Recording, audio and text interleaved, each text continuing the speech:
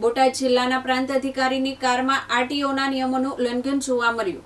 પ્રાંત અધિકારીની કારના ડ્રાઈવર સીટ બેલ્ટ બાંધ્યા વગર ડ્રાઇવિંગ કરે છે. બોટાદ જિલ્લા વહીવટીતંત્ર કલેક્ટર વિભાગ અને જિલ્લા પંચાયતના અધિકારીઓની ગાડીઓમાં આરટીઓના નિયમો સરેઆમ ઉલ્લંઘન થતું હોય ત્યારે કોરોનાની ગાઈડલાઈન મુજબ તમામ અધિકારીઓને તેમની કારના ડ્રાઈવર પણ માસ્ક પહેરતા નથી.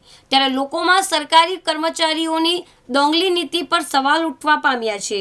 શું કાયદો માત્ર જનતા માટે જ છે? શું કર્મચારીઓને સરકારી કારના ડ્રાઈવરો માટે નથી? સીટ બેલ્ટ બાંધ્યા વગર અધિકારીઓની ગાડીઓમાં ચલાવતા ડ્રાઈવરો આ જિલ્લા તંત્રની મોટાભાગની કારના કાચ પણ બ્લેક ફિલ્મવાળા લગાવવામાં આવ્યા છે.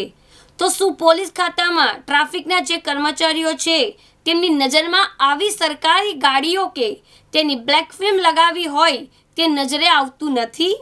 શું આ વીડિયો પર આરટીઓ અધિકારીઓના, આ પ્રાંત અધિકારીની ગાડી કે પછી પાછળ પ્રાંત અધિકારી એટીવીટી બોટાદ લખ્યું છે? તે ગાડી number GJ zero four G, one four five ફોરની ગાડીને મેમો આપશે કે કેમ? અને જો મેમો આપે તો તેની રસીદ કલેક્ટરના ટ્વિટર હેન્ડલ પર મૂકવા પણ બોટાદના જાગૃત નાગરિકોની માંગ ઉઠી છે. ડીએન ચાવડા, દિવ્યાંગ ન્યૂઝ, બોટાદ.